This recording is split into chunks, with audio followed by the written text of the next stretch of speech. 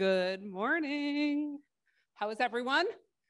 Can I get a thumbs up? Can I get a yay? Um, we're going into what will be our last sessions of the day. And I am really excited to um, be up here with our panel today to bring you the discussion around talking about the tough stuff. So, my name is Lisa Cruz, and I am the patient advocacy lead at Takeda Oncology. I focus on non-small cell lung cancer, but I have also lost someone very close to me um, from lung cancer.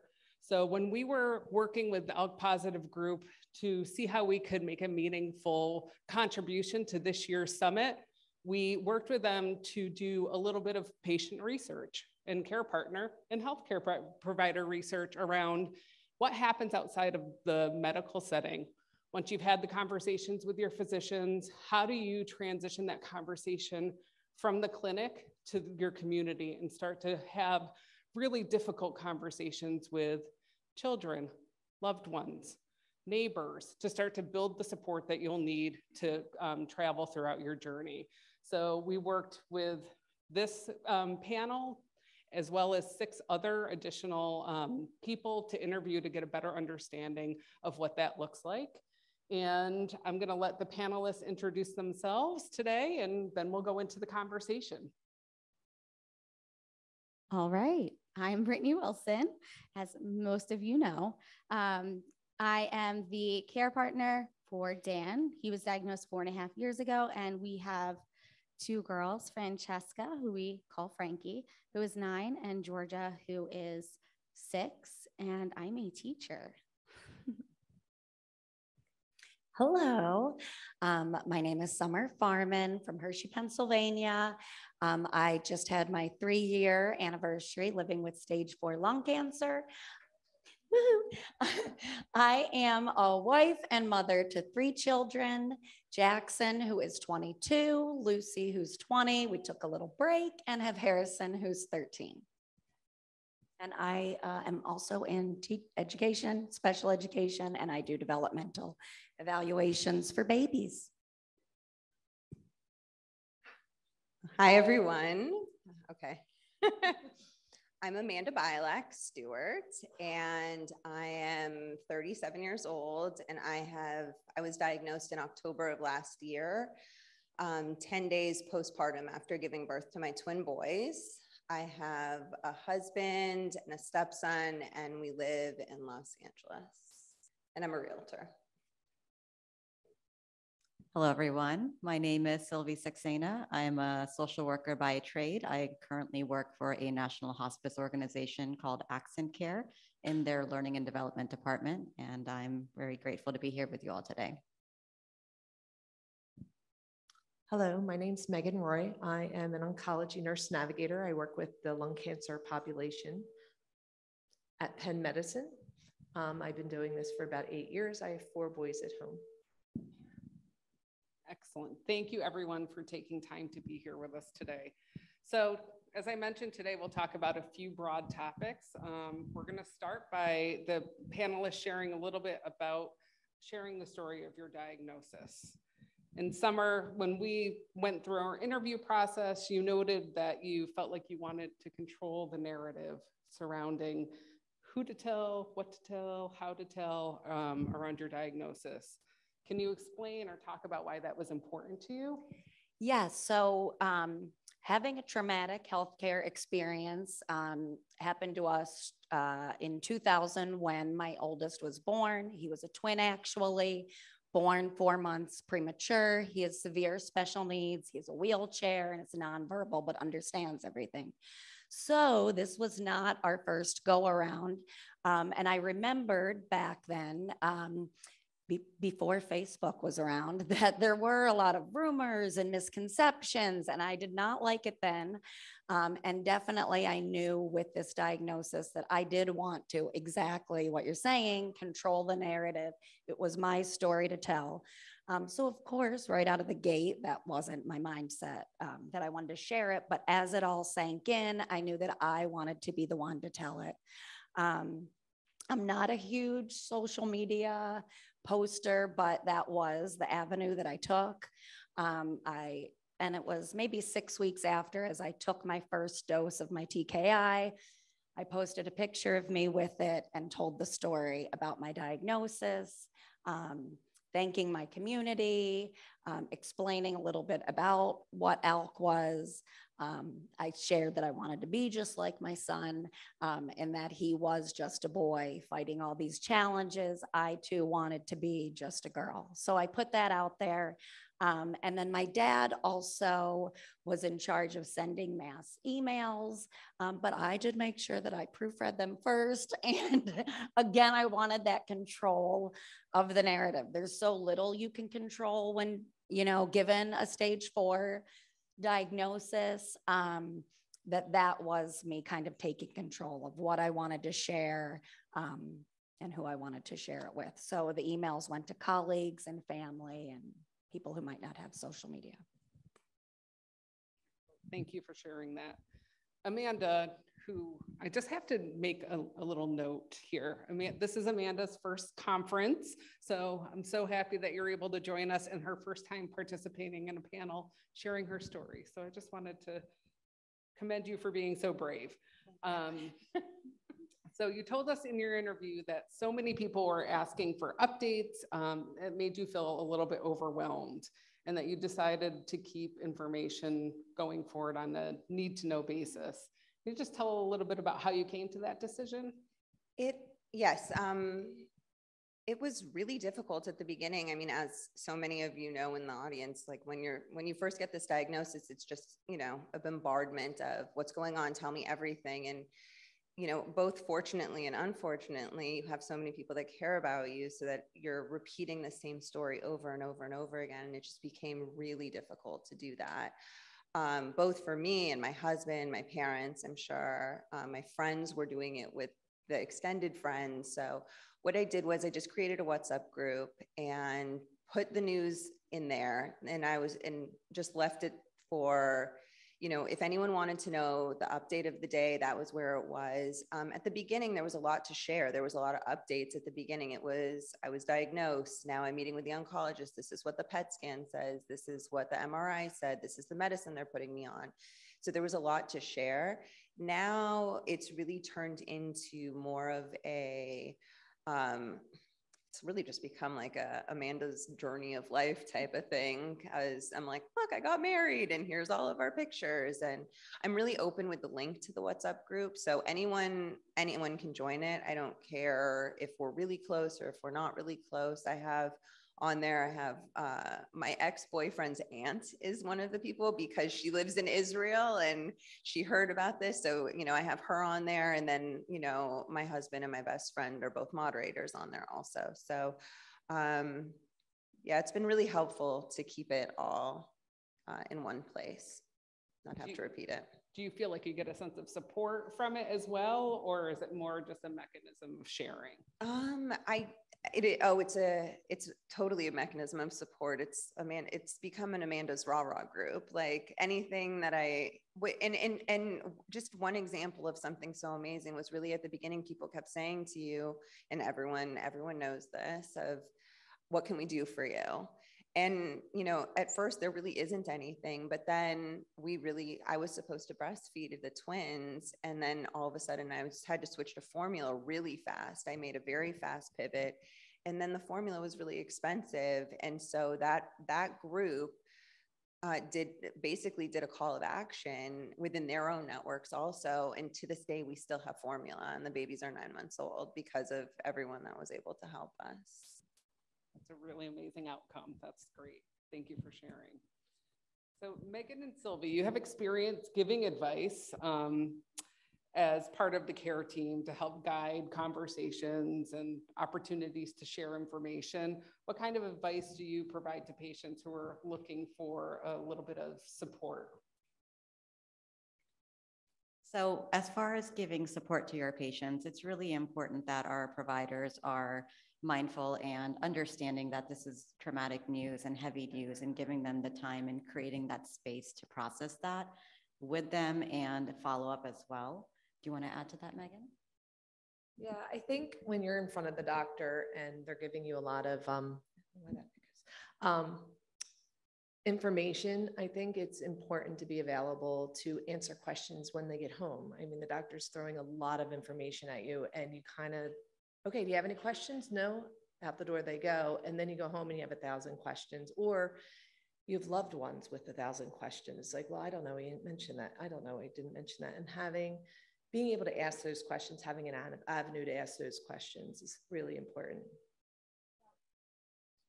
It's funny you say that because when uh, Dan was first diagnosed, I always like to say that I got my Grey's Anatomy residency. So I would take like copious notes and I'd be like, oh, I remember this from Grey's Anatomy.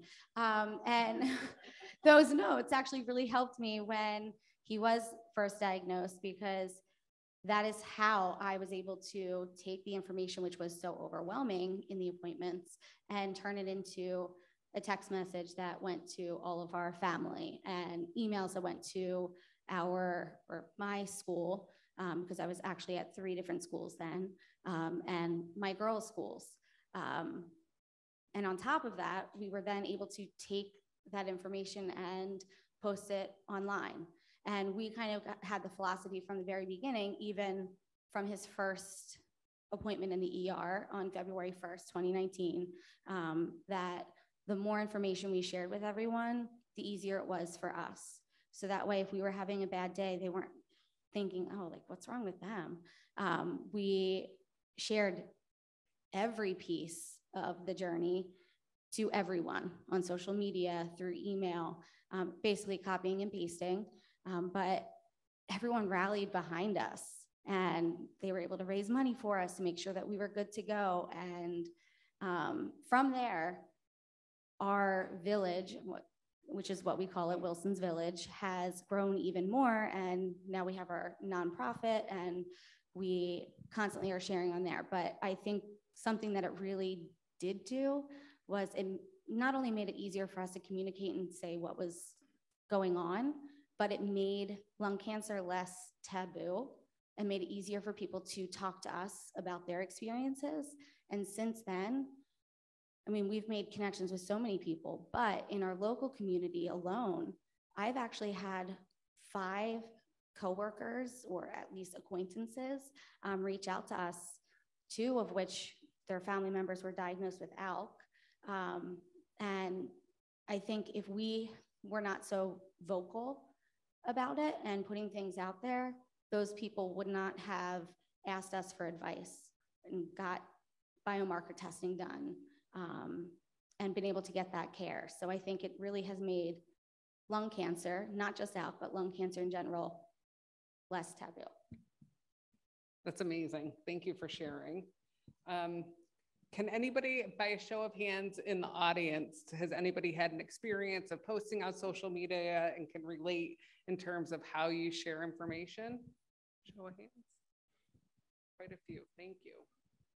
All right, so now we're going to focus the conversation on um, experiences the panel has had with disclosing or talking about diagnosis with the children in their lives, be it their kids, grandchildren, nieces, nephews. Um, and I'm going to start this one with Megan. So you talked about in your interview when you're, you know, counseling people um, that there's one clear message of hope that you want patients and care partners to convey to the children. Can you talk a little bit about that? Yeah, I think kids are very perceptive. So even though you're trying to protect them, it's not always the best way. You have to be honest, no matter their age. And there's different ways to talk to kids at different age groups, I understand. But the main message is to let them know that they're going to be okay that you have a village, no matter what happens, they're going to be okay. And you're going to make sure they're okay because that's your priority. And that just is my main message.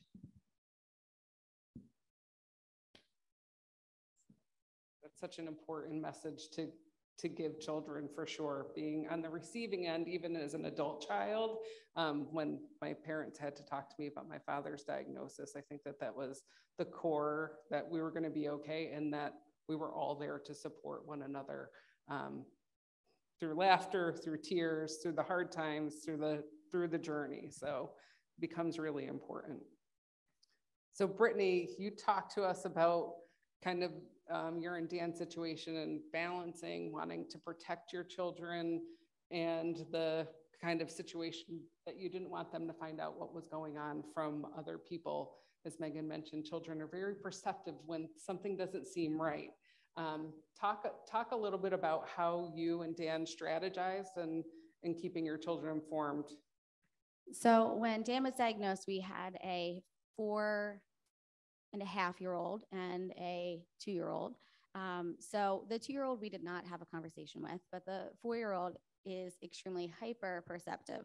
So she hears everything, sees everything, and um, kind of holds on to that. So the first thing we did right away was ask the doctors, the social worker, um, how, what should we do? Like, how should we talk to her? And basically, they said, just be honest.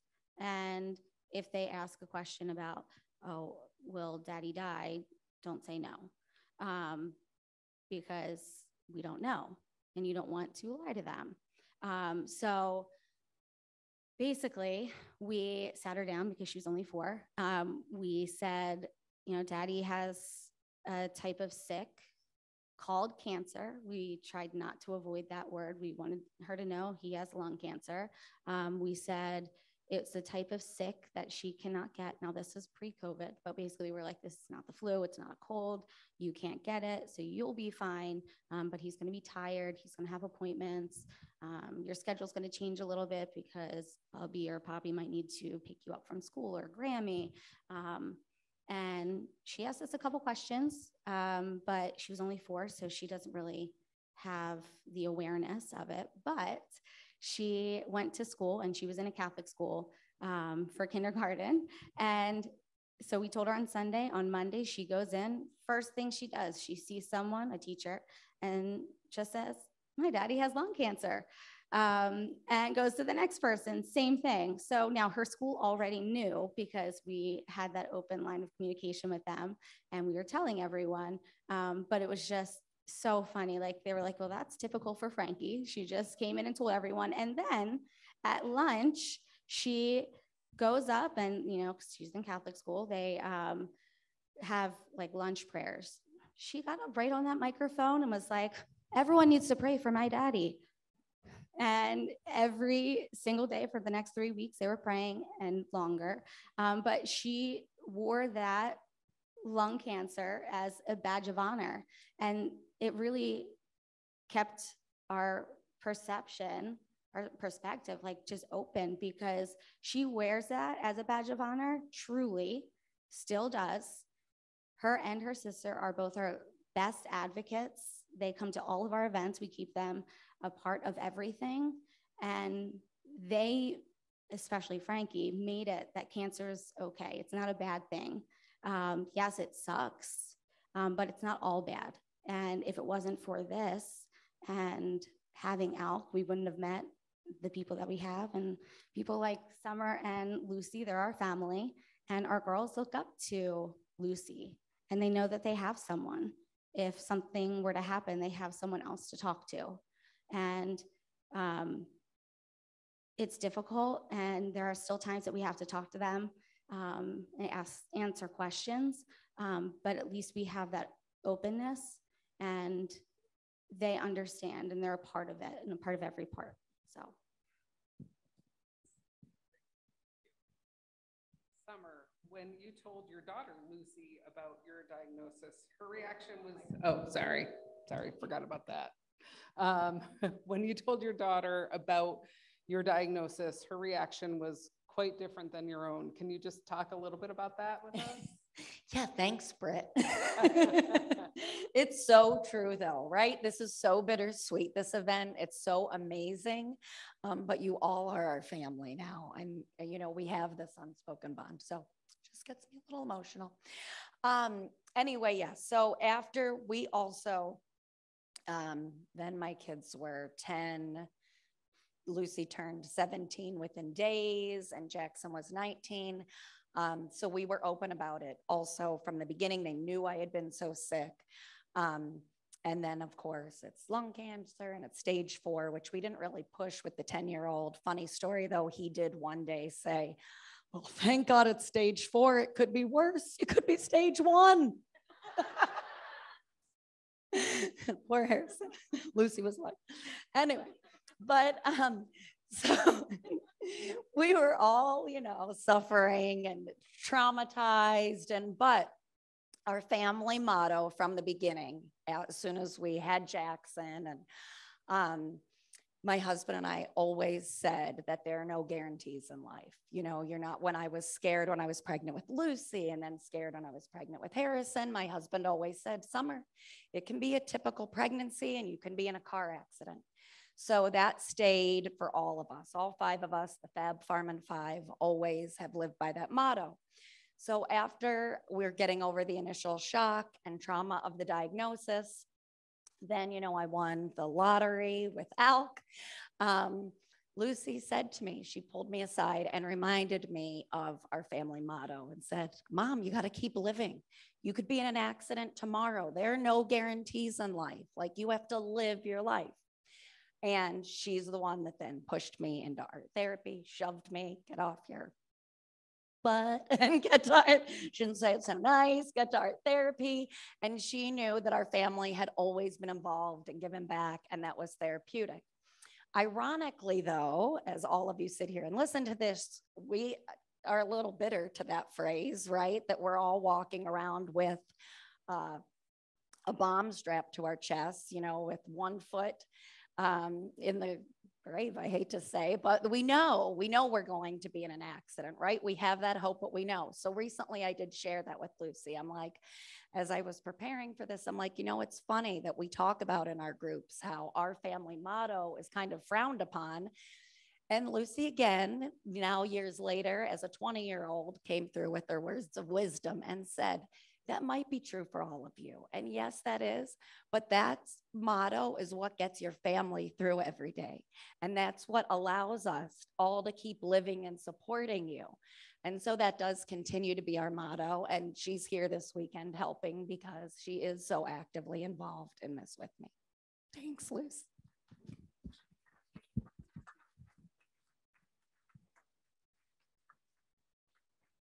It's amazing to see the support that you have in the room. It's incredible. So Amanda, you shared with us about your experience um, sharing your diagnosis with your stepson and um, how well of a job you did sharing your diagnosis. So can you tell us a little bit about what that was like? Yeah, my stepson Jack is 11 and you know when when I was diagnosed the whole family everyone knew about it and we had just had twins also so it was really tied up into this entire time period. So he didn't notice that like people were coming over or food was being delivered because i had just given birth. So that was tied into it. So we were able to hold off on telling him for a little bit. My diagnosis came right around right around um, halloween and he happened to be out of town. He went on a science trip um, with his school that weekend. So thank God because it was really just, you know, those those you know 72 hours that we were it was just waiting and doing things but just really like living in a limbo of like am i going to die or am i going to live um, and so we we held off on it until the point that we really knew that we had to tell him because now we're starting to have people come over and my friend like said like oh so what did the doctor say? And i'm like shit we're gonna need to we're gonna need to tell him. So you know we sat him down and you know really we're just direct with him. Our therapist had said you know be direct but age appropriate. And so we did that um, and you know we never talked about staging. We never talked about, um, he's like, are you going to die? And I said, we're all going to die. So, um, it wasn't, it wasn't like a imminent death type thing. By that point, I had a diagnosis. I knew I was ALK positive and I knew that I was going to be on alectinib. So, um, it was really, we had a lot more information. So we weren't just telling him and going into it like that. Um, I did tell him though, I said, you know, I'm going to have PET scans once a quarter. And so when I do the PET scans, I become radioactive. So I'm not going to be home for the day because I can't be around the kids. Um, and, and he was like, oh, okay. And so what he did was he went and made tinfoil hats for himself and the twins and was like, these are going to be our PET scan hats so that we don't get radioactive around, you know, we don't catch your radioactivity. Uh, so that was, that was super sweet. But um, you know, after the fact, he did compliment me and my husband in the way that we told him, but he complimented us in a comparison to how poorly of a job we did in telling him that he was going to be a big brother to having twins. So he's like, you know, you really nailed the telling me how you had cancer. That was a very good job but you know whoa the way that you told me that you were having twins like that was don't tell someone with a cake and a tea so he was really um, he's funny he's wiser than his years and and we love him a lot so he has some good humor to him also. I love that story. Um, so Silvi you've heard you know how uh, brittany summer and amanda have handled the challenge in their home. When you have somebody in your office talking about how do i what words do i put to um, to what's happening so my child can understand or family um, or their larger care circle? What advice do you give?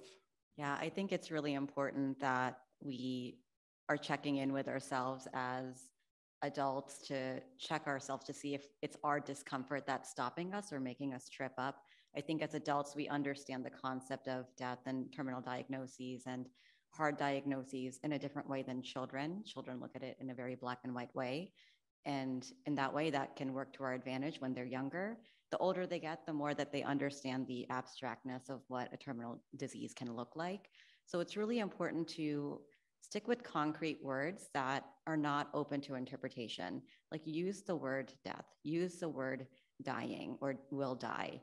You want to stay away from phrases like passed on or they're in a better place or they're in the sky. All of that can leave children thinking whatever they want to think because their imagination will think that they'll come back from the sky or they'll they're just on a trip they'll come back so you want to be really clear and concrete with your words and not be afraid that that's going to be jarring for your children i think that it's jarring for us to share that with children because we we feel that and we want to protect their innocence so badly. But sharing that information does not preclude that there will no longer be any joy had. All of that can still exist with a diagnosis. And I think helping our patients and, and the adults feel empowered to live their life that way and also be clear and confident that they're doing the right thing and, and being clear with those children is really the biggest takeaway. That that would be what I would say. Excellent. Thank you so much.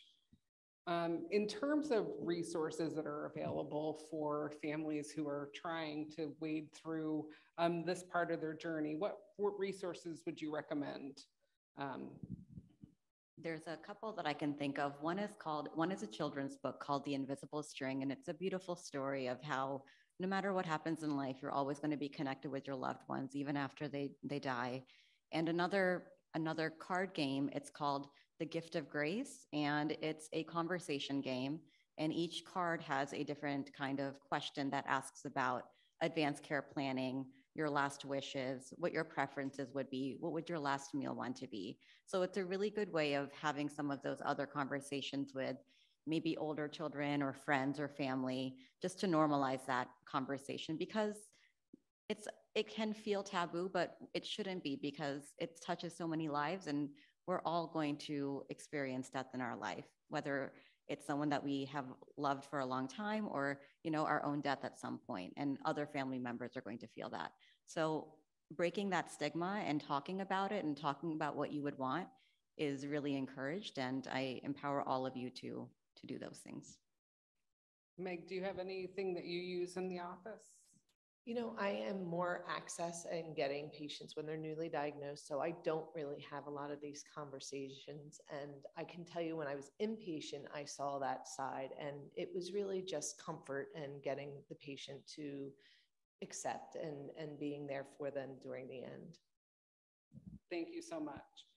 Um, so this is for whoever would like to jump in first. Um, what advice would you give about conversations outside of the family? So, in your community, if somebody asks you a question proactively, so you've kind of done all of your social media, but you run into somebody, a family member or a family member or a coworker, because um, this conversation is hard for everybody, not just children. You know, how do you handle some of those more impromptu questions and situations that you run into? Usually it's with a lot of honesty, thrown in with a little humor. Um, but when it's those harder conversations or you're trying to be honest, I would say for me, the hardest thing is when you want, obviously, we all want everyone to live. Um, but talking about the fact that there's a possibility that someone might not.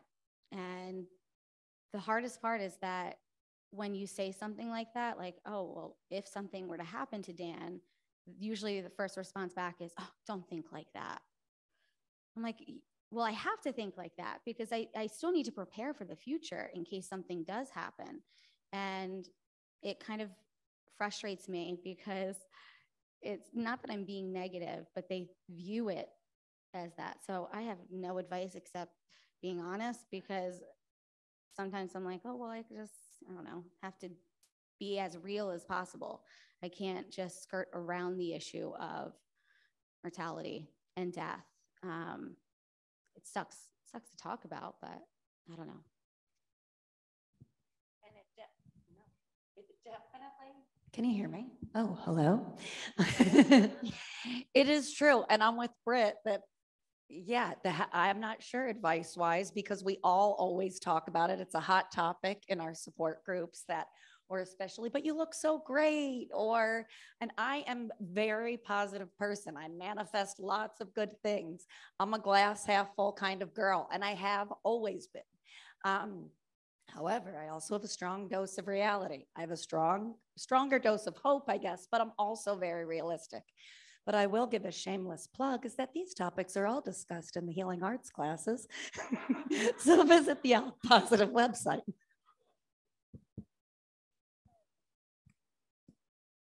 I have virtually nothing to add to this. It's been so hard having these type of conversations. I mean, we all know it, but it really is. And I'm very much like Summer. I'm a glass half full type person, but I'm also a realist. Like this is, you know, it's like we're hopeful. Like I'm hopeful that this, but you know, also I don't want to just never have these type of conversations because everyone else is so uncomfortable with it.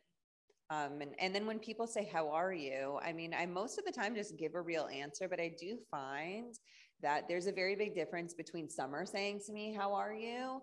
and someone, someone, you know, a, a family member saying, How are you to me? Because what they're looking for is health wise most of the time because I'm very open about the mental struggle to this. Um, Summer posted something online and it was like, This is like we all might die one day, everyone, but we walk around with a gun to our back.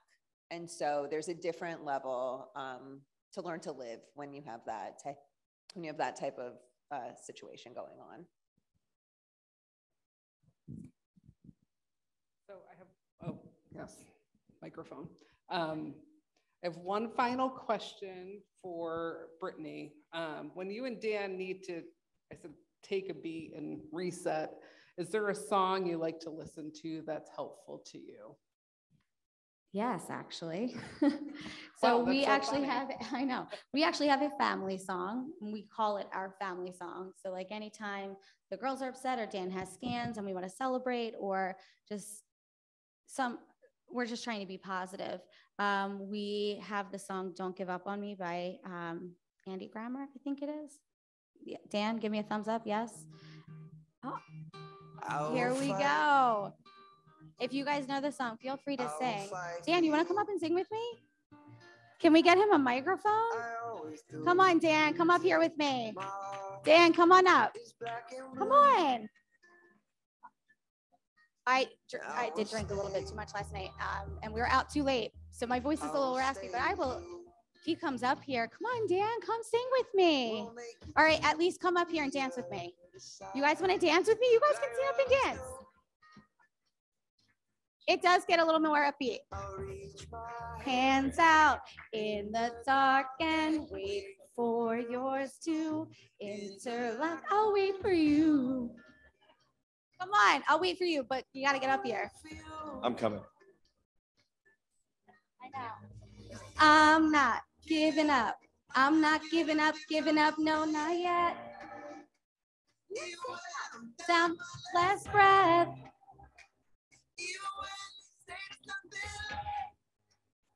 So don't give up on, I'm not giving up.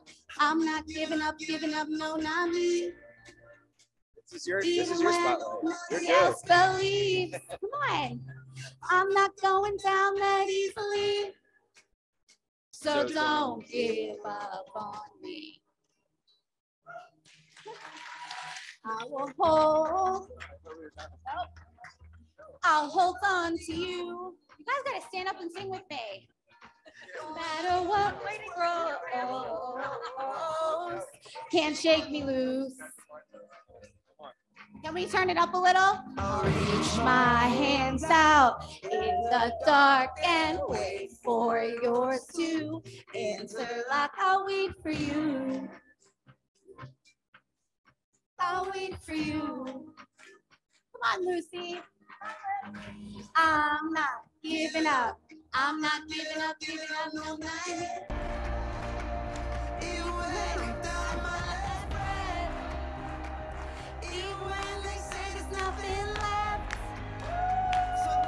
give up on. I'm not. Come on. All right. Come on, when nobody else believes, I'm not going down that easily. Come on, Lucy. Don't give up on.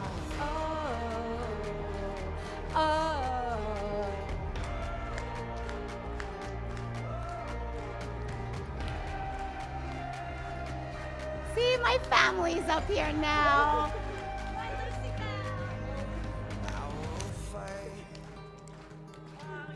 I will fight for you. I always do until my heart is black and blue. All right, that is our family song. Thank you. So that will close out our panel for today. Thank you, everybody. I mean, we had to have a little fun going into the end here, but. I think we have like four minutes. If Oh, anyone do has a have- question, Do we have time? Wow, I know, I'm, I'm shocked. me too. Thanks for dealing with my singing. Does anyone have any questions for us? No? You don't want to ask where I took singing lessons? no one? Oh, that's okay. That's all right, yeah. I think we have about um, four minutes until. Oh, Okay, well, thank you guys for listening. Um, we appreciate, and you guys are done, but um, we do have, I put together resources. If um, we can put the slide up, uh, you guys can scan this and some of those resources that they talked about and some that I put together uh, based off of caregiver recommendations and our ALK Moms group. Um, you can scan that and you'll have all of those. And I just wanted to again um, recognize all of the care partners in person and virtual. Um, yesterday's video, it killed me to see the remembrance. I was moved, um, and I had seen it before, and honored to have been friends with so many people, but I also cried for my family. So um, I want to tell you how grateful we are, and I've enjoyed meeting so many of you. And thank you to all of those tuning in and those that couldn't be here. We couldn't get through this alone. So thank you to our care partners.